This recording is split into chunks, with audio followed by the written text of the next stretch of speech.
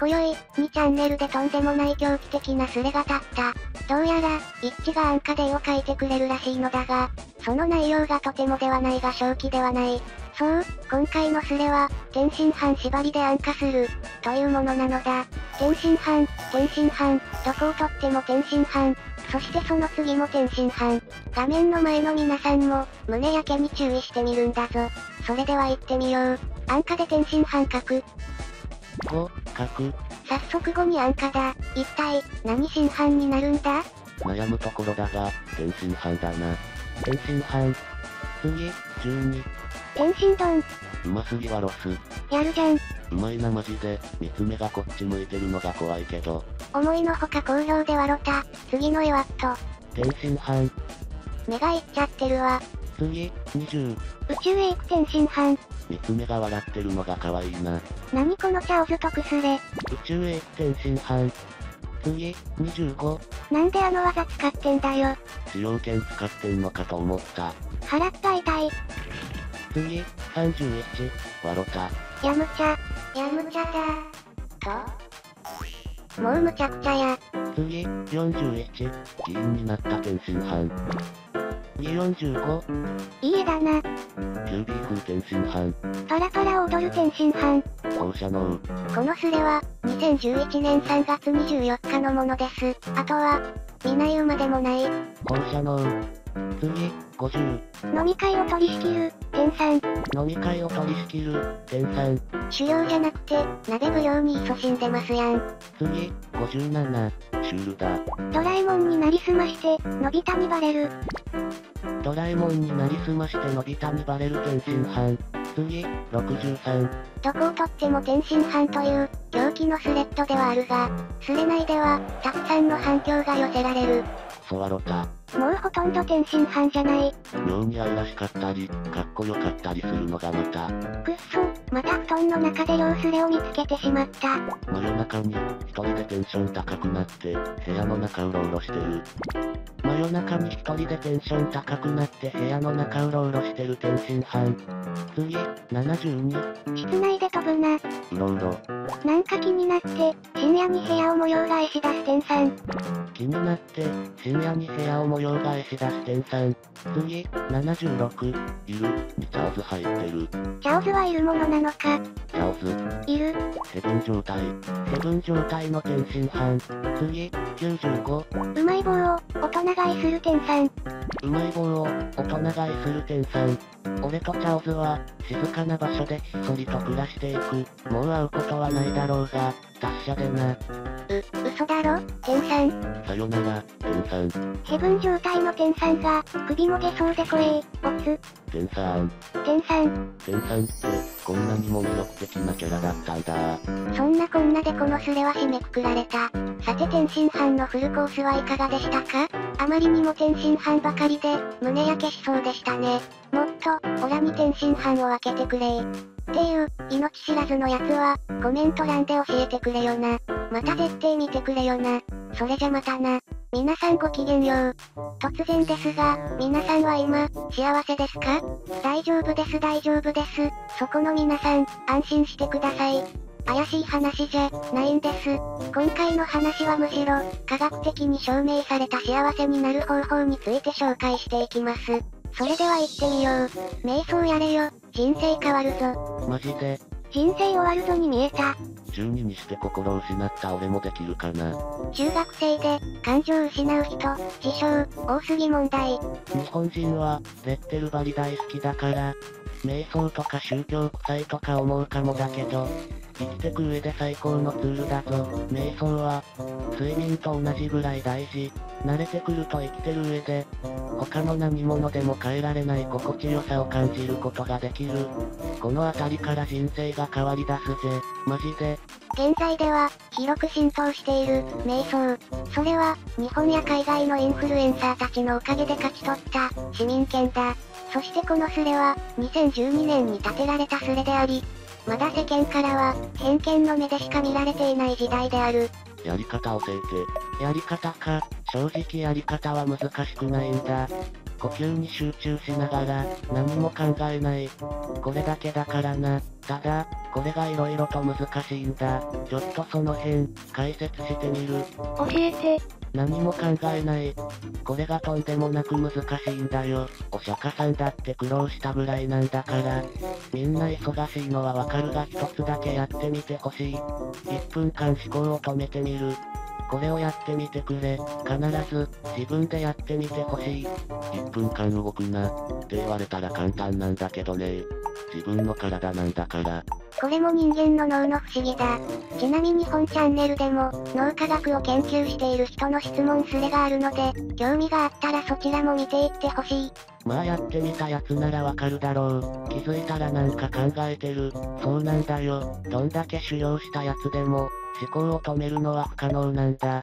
ここで疑問が起きないか？なんで、俺、が思考を止めようとしてんのに、思考湧いてくんの？って、まあこの辺は変な話になるんだが、思考は本人の意思と関係ないんだよ。そんなはずあるかってのが第一印象だろうが実際そうなんだ思考は本人の意思とは関係なく次から次へとオートで湧いてくるこれがいわゆる自我ってやつだ。普段人はこの自我に振り回されてる。いわば自分の意思と関係なく湧いてくる思考にとらわれてるんだ。ストレスが生まれ、人生が思い通りにいかないのは、すべてこの自我のせいなんだ。瞑想はこの自我と、関わりのない時間を持ちましょうってことその時間は、多分瞑想したことない人は味わったことのない、心の静寂、を持てる。瞑想するとよだれが垂れるよな。座禅と瞑想は違う ?4 年くらい禅宗のお寺通って、座禅についてはぼちぼち身についたんだが。座禅は禅宗における瞑想のテクニックを指すんじゃないかな。瞑想とは一口に言っても、色々な方法があるから、どれも目指すものは同じだろうけど。ふむふむ、なんちゃらっていう瞑想気になってて、習いたいなと思ってたとこなんだ。色々聞かせておくれやす。脳内、役、出せるようになるんだろドラッグもなしに飛べるとか。初心者でもコツつかめば、脳波音で脳内、役って言われるものは、出せるようになれるよ。役なんか目じゃない。まあ、例えるなら、生まれたての赤ちゃんが、母親に抱かれながら眠る直前の、安心感、かなそれを何分か座るだけで、いつでも味わえるんだぜ。それだけでも、精神衛生上、すごい効果があるだろう。緊張しない人間になりたいんだが、そんな人にも、効果あるか？効果ありまくり、マジで。呼吸ってのは、身体の中で数少ない、意識的に行える、無意識運動なんだ。普段無意識がやってくれてる運動に集中することで、自然と、思考を抑えることができる。科学的にも、瞑想を行うことによって、感情のコントロールができるようになり、強靭なメンタルが手に入ることが、証明されている。それは期待。ぜひ、続けてください。やり方を話そうか。まあ、この辺は、こだわらなくていい。基本的に、リラックスできる場所があれば、何でもいい。座り方も、椅子に座ってもいいし、油でも何でも、一番楽な姿勢で、慣れてきたら自分で調べて正しい形にこだわってもいいと思うけど、で、座ったら目をつぶる。半目の半眼ってのが主流らしいけど、それに変にこだわるぐらいなら、つぶってもいい。まあ、どっちでもいい。こっからが本番。呼吸に意識を向ける。何も考えずにいるとか無理。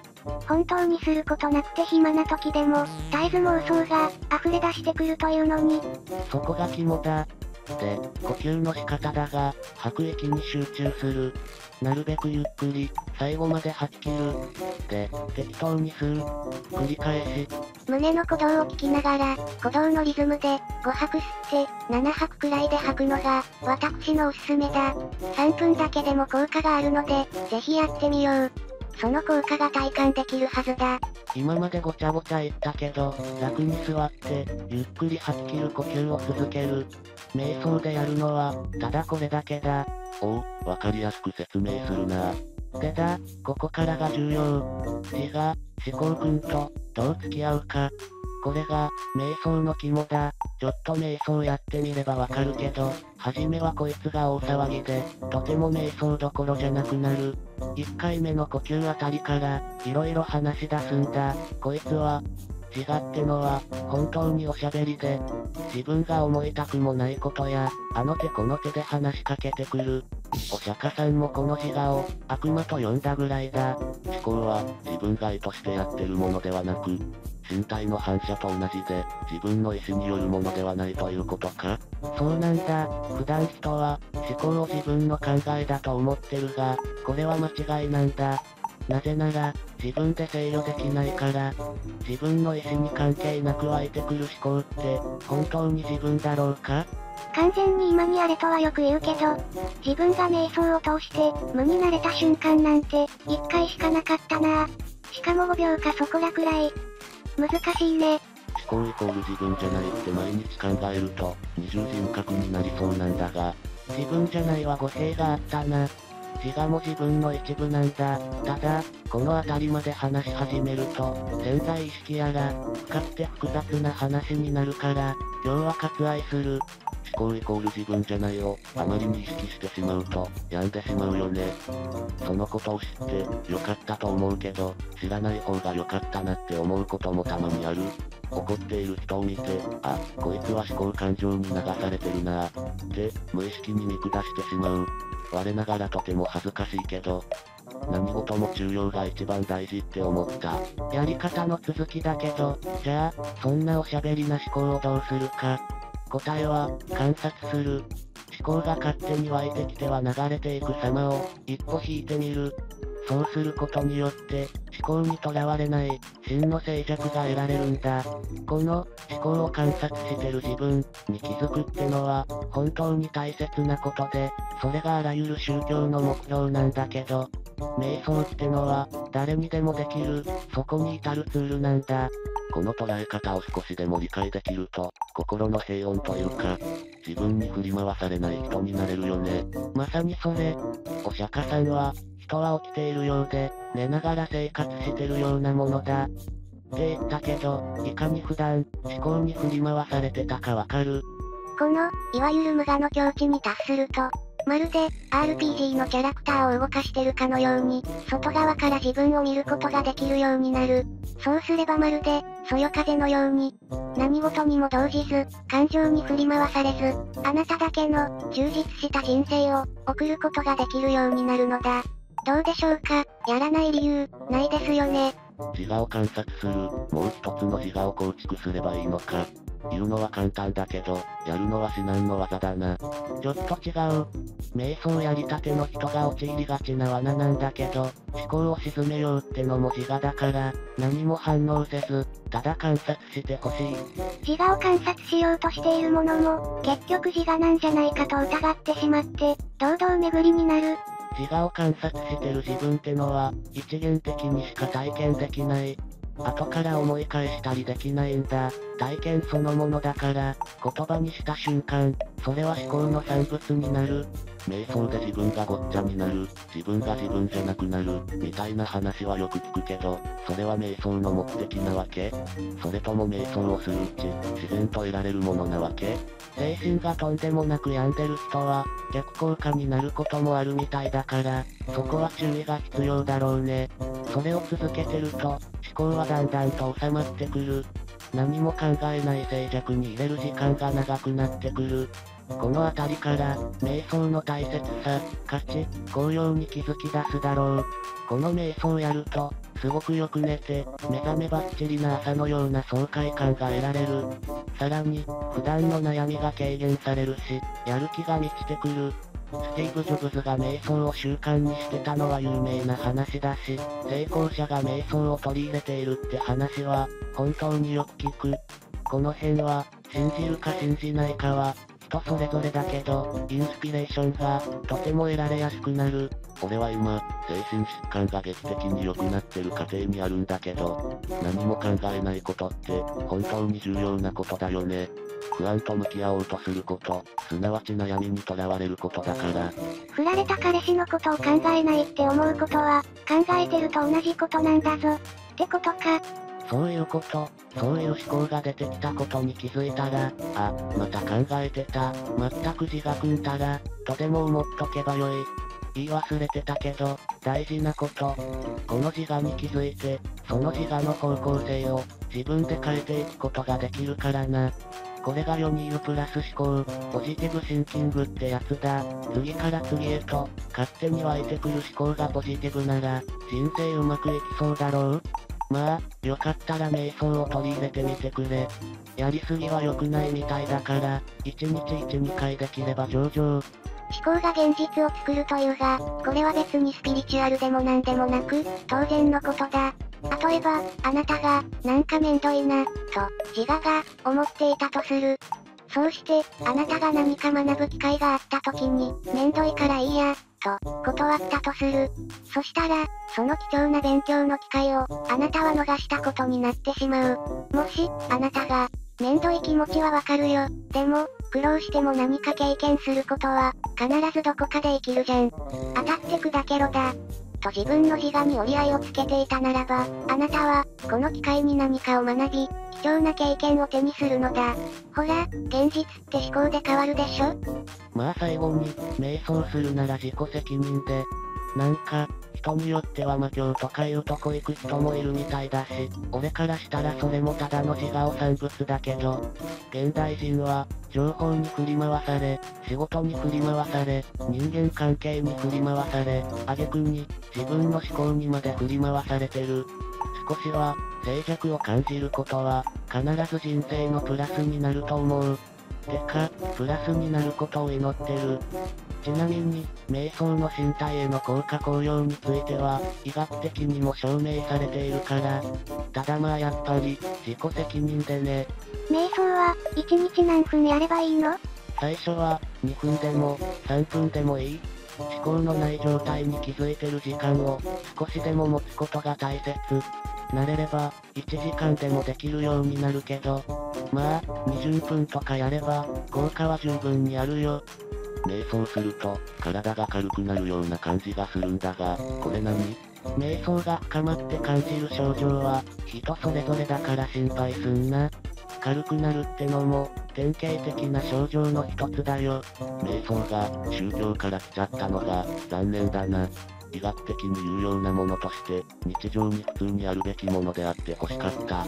脳科学でも効果が認められてるのに、瞑想しようとすると、宗教が脳裏をよぎって、なんかやりたくなくなる。ていうか、今は科学と宗教を二分しすぎなんだよ。漢方や気候、瞑想とかは、東洋における知恵だったんだから、科学的に証明されてないという理由だけで、切り捨てる必要は、一切ない。日本人の宗教嫌いは、もはや、宗教の域だね。瞑想については、難しいから後でゆっくり考えるとしよう。一致は、瞑想が、日常生活のどんなところで役に立ったの？悩んでたことが、しょうもない自分自身の思考の産物だと気づけたのが、一番大きいかな。日常生活が、とても楽になる。すべてうまくいってる時の、あの流れに乗るような感じが、続くようになったな。あとは、体調が良くなったのと、ストレス感じることが、大幅に減った。ヨガも割と近いかもな。ヨガの熟練者だと、数秒間目を閉じるだけで、8時間就寝したのと同じくらい、リフレッシュできるらしい。方法は、何でも構わないんだ。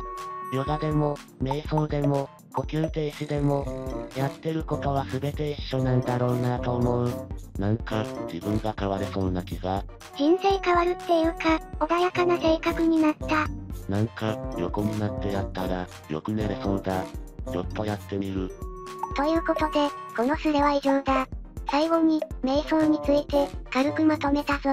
瞑想の効果は、ストレス軽減、集中力増加、ポジティブになる。瞑想の種類、Google の推奨。サマタ瞑想、ビパッサナー瞑想、マインドフルネス瞑想。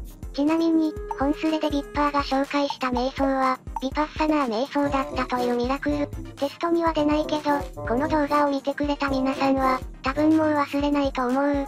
その瞑想は、思考を観察するという方法だった。最初は3分から、呼吸に意識を向け、思考を観察して、あなたの人生を、変えていってほしい。それではまた。